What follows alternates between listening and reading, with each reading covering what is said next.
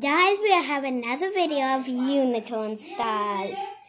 So today we're going to talk about how much um loose teeth and how much dawn do you have.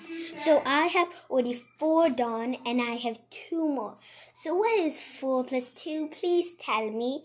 Yes, it's six. That's how old I am. So, um, that's a lot of teeth. Um, here is a little widdly, but that means I'm gonna have 10. Today it just happened.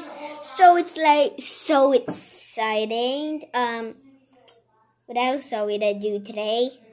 Readers, you're gonna do how much restriction in the in the bell button and please subscribe and tell how much teeth you done and how much you'll be done and tell me if that's how old you are. Bye.